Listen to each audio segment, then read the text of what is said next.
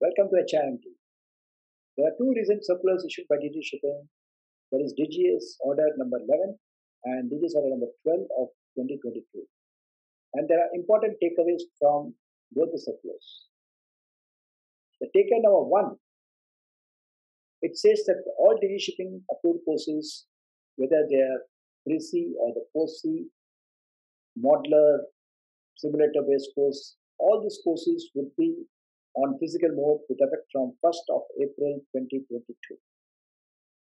Taken away number two is all the MTIs are allowed to conduct practicals, including use of swimming pool, hospital visits, simulator courses to 100% capacity of the institute for which they have been approved. Takeaway number three, the pattern of the digital certificate that is Part A and Part B have been discontinued with effect from 23rd of March 2022.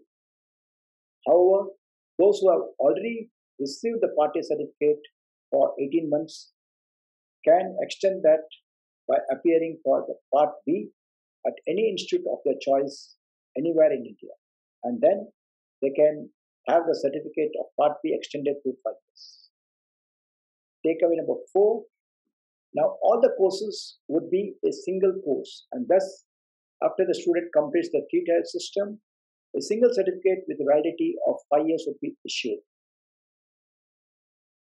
Take care number five all the candidates have to now appear for their online exit exams at the MTI premises where they undergo the course. So, on the last day of the course, on completion, you will be appearing for your exit exams at the same institute.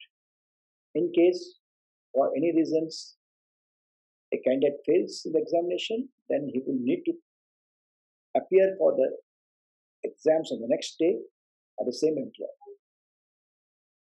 There has been also some clarifications and some requests from the stakeholders to the DG shipping as regards the current batches who are already enrolled for the online training for the competency courses. DGS has considered the request of all the stakeholders and have issued an addendum to the circular number 11 of 2022, which is DGS order 12 of 2022, which states that all those candidates who are undergoing the nautical or engineering competency courses prior 1st of April 2022 can continue to be online mode till the time they complete the course, which means it's a blessing to all those students who have already undergone the training from different parts of the country and they can continue to do the same same MTI on the online mode.